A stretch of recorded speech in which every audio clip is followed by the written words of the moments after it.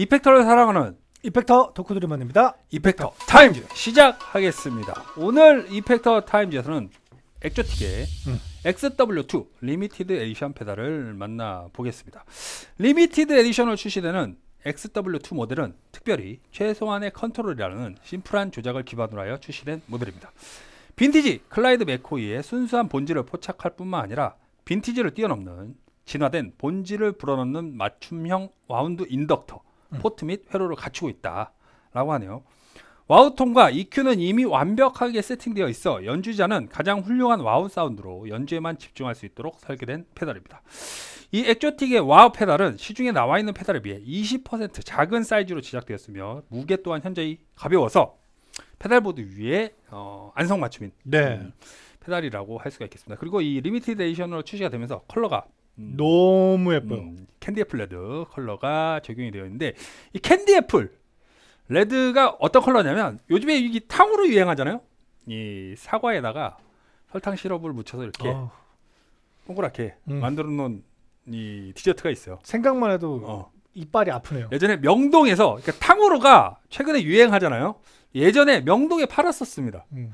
제가 이제 대학교 다닐 때 예, 명동 캠퍼스에서 이 탕후루 줄 모르고 사 먹었던 거죠. 음. 음. 아, 그죠. 형님이 다닐 때는 예대가 거기 있었죠. 아니, 그러니까 저희 때도 안산에 있었어요. 제가 저희 왜냐면 은 아. 다른 학교를 다니다가 서울예대로 아, 아. 편입을 했, 저기 갔기 때문에 다시 입학을 했기 때문에 제가 안산 1세대, 2세대인가요? 1세대, 1세대입니다. 제가 안산 1세대.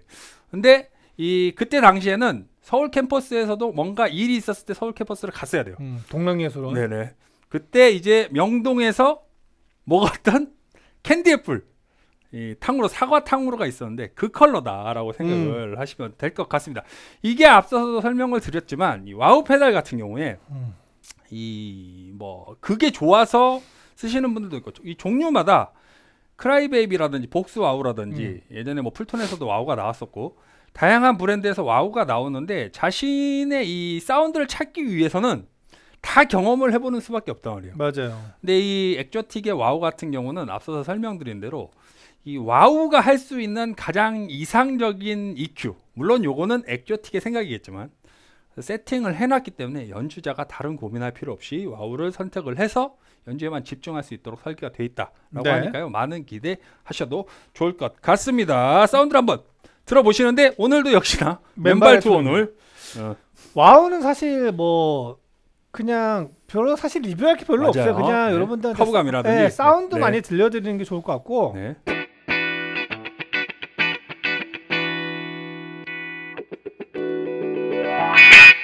깊이가 이 정도입니다. 어.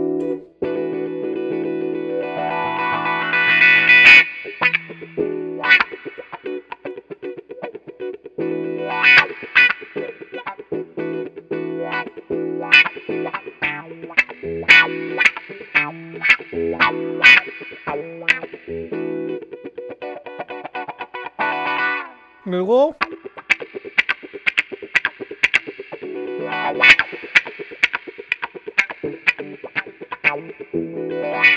드라이톤도 네. 한번 들어볼게요.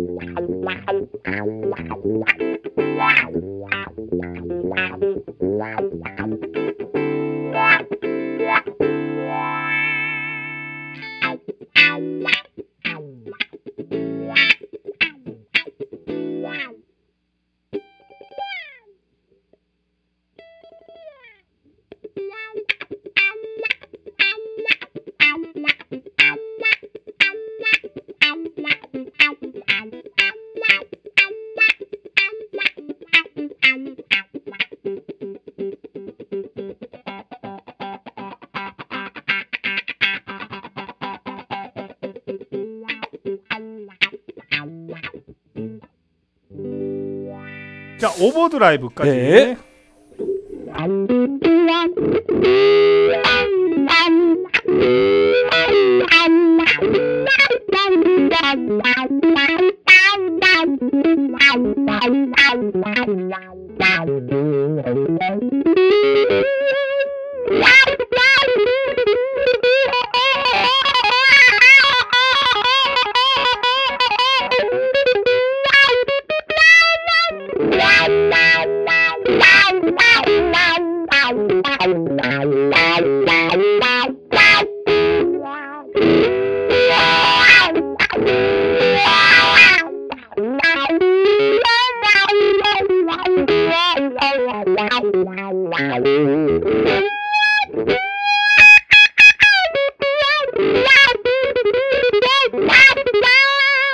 그렇죠.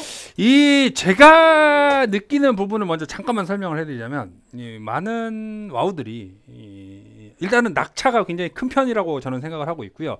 보통은 이제 모든 와우들이 이렇게 배부른 곡선을 그리는 경우는 없고 이렇게 배가 꺼진 곡선을 그리는 경우들이 많은데 이 친구 같은 경우는 그래도 이 전 음역대, 그러니까 전 구역대가 위상 변화가 약간 나름 직선으로 가는 음, 느낌이 있어요. 맞습니다. 그래서 그 부분이 굉장히 잘 되어 있다라는 느낌이 음. 강하고 그리고 이 완벽한 EQ 세팅이라고 했는데 이 호불호는 분명히 갈릴 것 같아요. 호불호는 갈리지만 어떤 게 완벽하다라고 저는 느껴지냐면 많은 연주자들이 와우에 바라는 EQ 세팅은 그래도 많이 지켜냈다라는 음. 생각이 드는 페달입니다. 어, 되게 좋은 네. 지적이셨고요. 제가 요거까지 하고 네. 어 이제 마무리하면서 네. 대화 볼게요.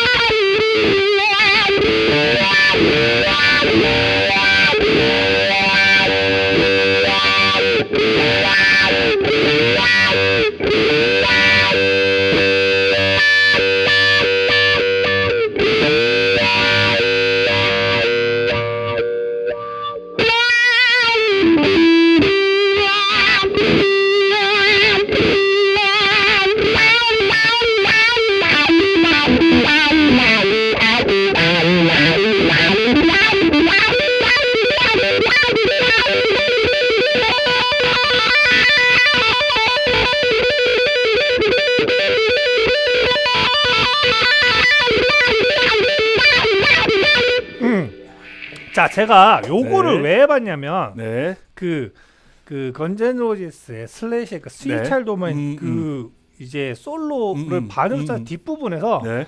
나는 뚜다라뚜다라뚜다라뚜를 했을 때 네.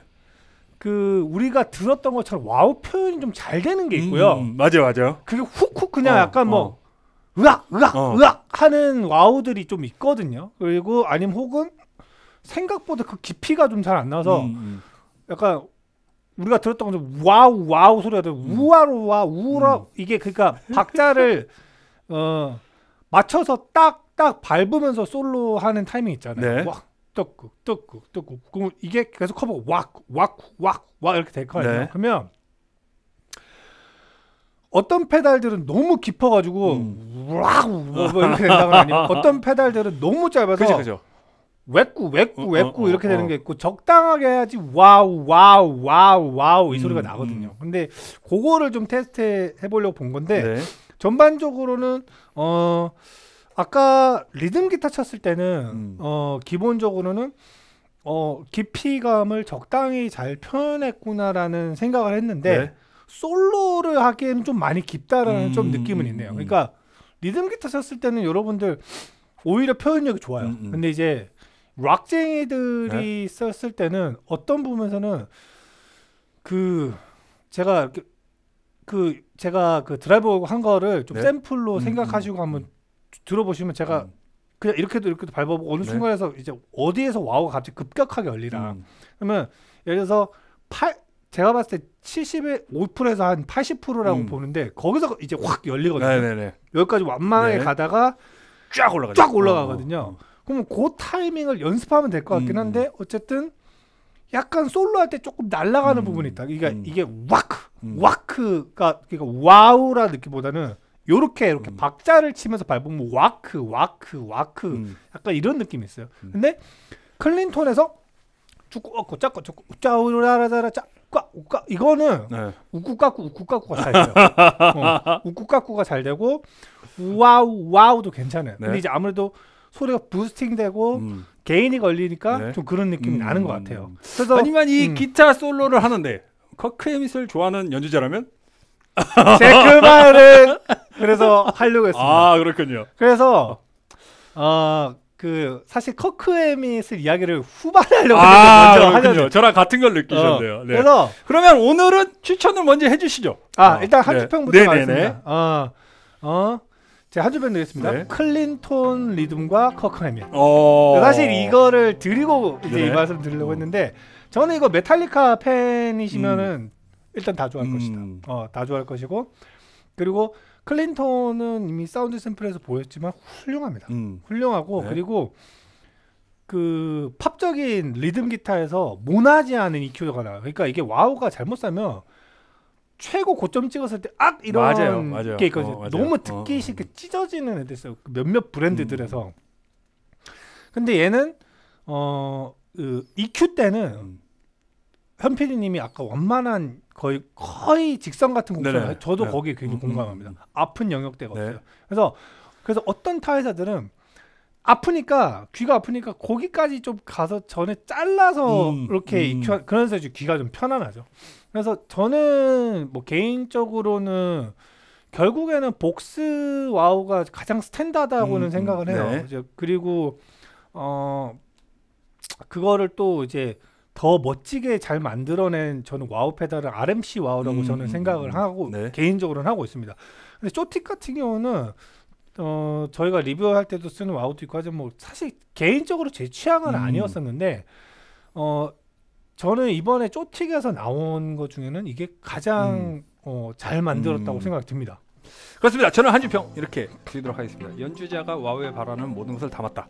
이 제가 들었을 때는 가장 와우다운 와우였다라는 생각이 좀 들고요. 음. 음, 물론 이 가장 아, 이상적인 EQ대를 잡았다라고는 하지만 연주자에 따라서 호불호는 갈릴 수밖에 없어요. 그럼요. 와우는 와우는 진짜로 말씀하신 대로 Vox 쓰는 사람들은 Vox만 쭉 쓰는 경우도 음. 있고 이것저것 쓰시는 분들도 있는데 음. 이 컨트롤을 발로 컨트롤을 해야 되기 때문에 어느 음역대에서 혹은 낙폭 자체에 이 연주자가 딱 원하는 부분이 음. 있단 말이에요. 그렇기 때문에 이 호불호는 갈릴 수 있지만 연주자들이 와우라고 생각을 했을 때에 생각하는 그 사운드를 정말 잘 포착했다. 음. 라는 것에는 음, 이견이 없는 제품이었다라고 할 수가 있겠습니다.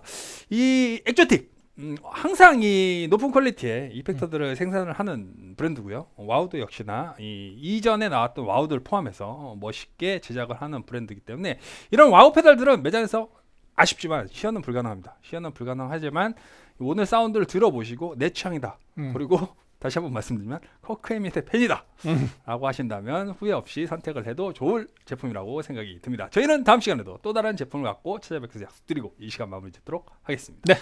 이펙터를 사랑하는 이펙터 덕후들을 만듭니다. 이펙터 타임즈 다음 시간에 뵙겠습니다 감사합니다. 유튜브 구독과 좋아요는 우리에게 큰 힘이 됩니다.